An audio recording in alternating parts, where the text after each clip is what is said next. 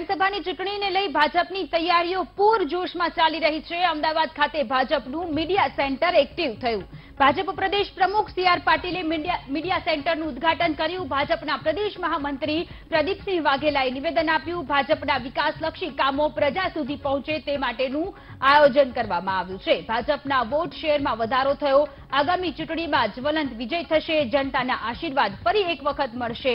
અનેક ટેકનિકલ સવલતો ઊભી કરવામાં આવી છે તેવી વાત પ્રદીપસિંહ કરી રહ્યા છે.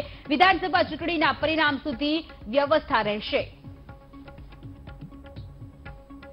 ગુજરાત ભારતીય જનતા પાર્ટીના પ્રદેશના અધ્યક્ષ સી આર સાહેબને જ્યારથી ગુજરાતની જવાબદારી મળી છે, ત્યારબાદ જેટલી પણ ચૂંટણીઓ આવી છે પેલા નવ જેટલી વિધાનસભાની ચૂંટણી આવી, નવે નવ સીટ કોંગ્રેસની હતી.